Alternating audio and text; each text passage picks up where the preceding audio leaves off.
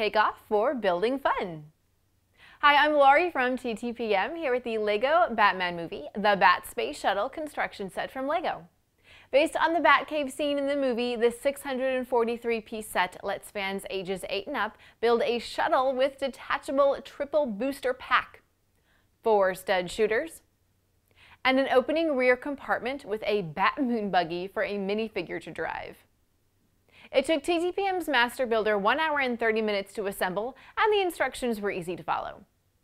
The Batcave features a dock for the shuttle, a bat kayak with a rotating display stand, a weapon rack with weapon accessories, a computer keyboard with screen elements, and a sliding costume rail with three detachable minifigure costumes, Firestarter Batsuit, Reggae Man Batsuit, and Space Batsuit.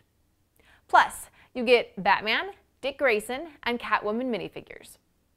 For anyone wanting to play out favorite moments from the LEGO Batman movie, this set will be a lot of fun. You can build part of the Batcave, dress Dick Grayson up as a Robin, and send Batman into space for all sorts of superhero rescue missions. This will inspire a lot of imaginative play for LEGO and Batman fans. For where to buy and current prices, visit TTPM and subscribe to our YouTube channels for more reviews every day.